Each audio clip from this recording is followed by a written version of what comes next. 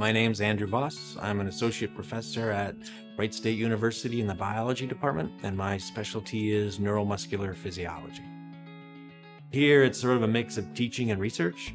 Uh, it's a nice mix. The research is on neuromuscular physiology. Uh, we look at actually neurodegenerative diseases and find aspects in the muscle that are wrong, skeletal muscle. Um, for teaching, I'm in a basic bio department, so because of my expertise, I teach a lot of upper division courses on physiology, um, but I'm also teaching some now more basic courses to talk to the freshmen, teach basic bio, things like that. What I'm doing with the research part at a university is it's called basic research. It's basically discovery-based research. So it's, it's the research you do to initiate new discoveries. Universities can do that because we don't have to generate a profit necessarily, right? You can come up with new discoveries. A lot of ideas fail. Um, so it's the initial discoveries, like for example, we're studying skeletal muscle and Huntington's disease. And first goal is just to find there actually are problems in skeletal muscle in the Huntington's disease, which wasn't known, right? So no drug company is going to target that initially because they didn't even think there was a problem there. And then we figure out mechanistically what's wrong which could be many things. But once we get some discoveries, then there's new candidates, new targets for drugs. So like most universities, it's really at that basic level, discovery level. Students then get involved in that research so they can see that that discovery level right at the beginning and then carry it on. Once we get new candidates, new targets, then industry can come in. Like a pharmaceutical company could say, oh, okay, wow, that's actually wrong. In Huntington's disease, we have a drug that targets that molecule. And then it may go from there. My name is Steve Burke. I'm a research associate in Dr. Voss's muscle physiology lab here at Wright State University in the biological sciences department. We study nerve and skeletal muscle function. We do a lot of electrophysiology and study single muscle fibers, electrical properties and different ion channels on the muscle membrane. We specifically look at Huntington's disease and previous experiments in the lab we found a number of different uh, muscle defects.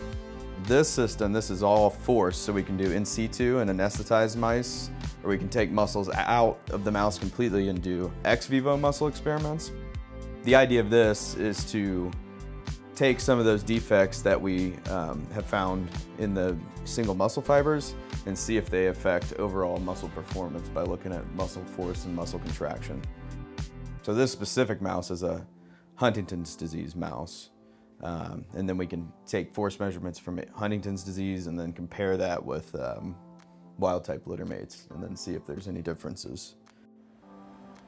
We're a little unique in the biology department. Uh, a lot of labs do molecular biology, which is Westerns, Western blots, and PCR. And in a way, you take the cells and you extract out DNA and proteins from them, but you no longer study the live cell. It's really important, but one different thing about the physiology is you actually have the live animal or you keep the tissue alive and we study what's really happening in real time. And we tend to focus on a lot of what's called electrophysiology, right? So the signals from your nerve to your muscle and through your muscle, if you need really fast signaling, you use electrical impulses. And so we study those elect that electrical signaling, electrical communication. Um, for example, we can stimulate the nerve and see how the nerve is communicating with the muscle electrically. Um, so you actually have to put electrodes in a cell and you see the electrical signals in real time. But a lot of it, there's been a lot of advances in um, microscopy. And so we're able to incorporate that. So that's kind of fun. I guess we use some advanced optics, not too advanced. I guess it's not, it's kind of cutting edge. Um, but we combine it with the electrophysiology. But the optics are nice. They develop, they're called fluorophores. So it's a molecule that um, gets excited with one wavelength of light, but then emits a different color. So you can put filters in and use that. That's kind of cool. Like we turns out when muscle works, key signal is calcium goes up. So an increase in calcium inside the cell. So we can put a fluorophore that's specific for calcium inside the muscle cell. And then when you excite it with an electrical activity, there's a flash of light because the calcium binds its fluorophore and then suddenly it emits more light. You get to see these simultaneous records of electrical activity combined with the flash of light. And however bright the light is tells you how much calcium increased in the cell. So, sort of a combination of optics and electrophysiology for a lot of our studies.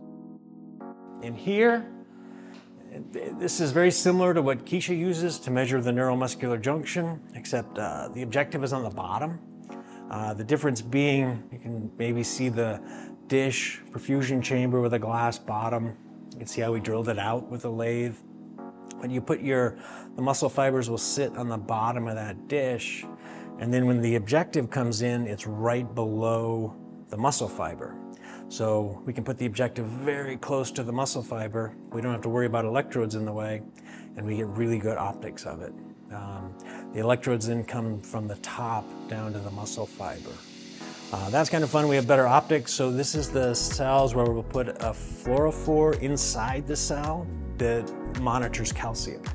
So we can measure the action potential, which is the electrical signal that tells the muscle to contract, and that causes the calcium to release. So we get electrical record simultaneously with the optic showing the calcium release. The calcium goes up, finds the fluorophore, and emits more light.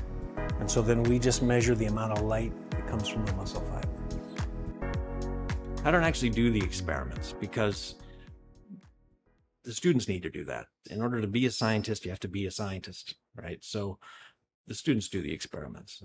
To get them going, I may give them a project um, and then leave it open for them to develop their own projects so they go through the process. If they need to, I'll give them an idea and they go test it. And then I always leave it open though, if they have their own ideas, then they can run with them too. But they basically go in and fail and succeed and do what you need to do. It's sort of learn by doing, I guess. So here's the experiment. Here's what we're after. Go figure it out. And then when they fail, they bring the data to me or it's not really, like I said, it's not really a failure. It's expected. Oh yeah, well, I've done that too. And then if they have problems, I might come in and try to help. And the only reason I can help so well is because I've made the same mistakes many times over myself. So I just show them how to do it. So hopefully that's the beauty of, you know, here, you don't do anything real in college till you leave. I, I get that for some majors except science. If you're working in a lab, it's not actually true. You actually get to be a scientist. Their goal is to go in, do the science, and they help write the paper, and they also become published authors when it's all done because they actually contribute to it. So I'm actually designing a new experiment. We're going to be testing sensitivity to acetylcholine. Each muscle cell has one neuromuscular junction. It's where the nerve cell and the muscle cell interact. That's where you're going to get the acetylcholine released. When the nerve wants to tell the muscle to contract, it releases acetylcholine. And we think that there might actually be a change in like how sensitive the muscle is to that acetylcholine. So I'm just getting some preliminary data today to see if this experiment's working. So in order to work with the muscle, what we have to do is um, take two glass electrodes. You have to stick them in a, a single cell, which is challenging. So all we do is you take a glass capillary, slide it in, and the capillary will go into that heated filament on the inside. It'll pull and heat, and as it pulls, it thins and thins and then breaks, and it'll be a very fine point at the end. And that's the end. We fill it with a solution, an electrode, and we can stick it in the muscle cell at that point and measure the electrophysiology from the inside compared to the outside. I think the most inspiring part about the work is the opportunity to make a discovery. You just, you can't replicate that anywhere else. To have an idea, your own idea, then test it and find out it's correct. I don't know, like the coolest thing, you, sometimes it's a lot of work, you lose sight of it, but there's a point where, okay, so you have an idea, you read some papers and you think, you know what, they're wrong. You know, like, remember we got into Huntington's, I think this group did this work, but they actually, I think they completely missed the boat. So then you order, they have your ID. I think this is what's wrong. So we ordered the mice with the disease and we checked. We found out we were right. That always feels kind of cool, right? Then you realize when you analyze the data at some point, you, you have this discovery. You realize, wow, I'm, I'm the only person on the planet that actually knows this is true, right? Because it's new, new knowledge. So you can't, you don't get to do that in a lot of other places. Like I'll have to talk to students about They want to either go to med school or do I pursue a career in research? And my thought on it is kind of like for research, uh, do you have like this childlike curiosity? You really want to know why? Then research is a better path. If you're happy with the answer, not necessarily why, med school is a little better. They don't give clinicians enough time to worry about why so much. If you have to see a lot of patients and you give them a drug and if it works, they feel better. Yay. You know, if it doesn't work, change the dose and try again. But finally it works. And as soon as the patient's happy, and that's great, um, you're done and you move on to the next patient. You have a heavy workload. So it's not discovery, you know what I mean? It, it, it's very important. But for science, what makes it interesting is if you have that curiosity. If you really want to know why, then you can do that in, in a research lab. In terms of like why here, one advantage here is, I guess, a, a lot of big research places, um, you end up disconnected from student up to professor. There's sort of a disconnect. You can have undergrad, grad student, then you can have postdoc and senior scientist, and you get you see what I mean. You get this long gap between the student and their ability to actually interact with the professor. But here, they're, they're really good about keeping that narrower. So I do interact. Students get to come in here and actually really engage and work with the professors and have a good chance of being playing a major role in the research projects.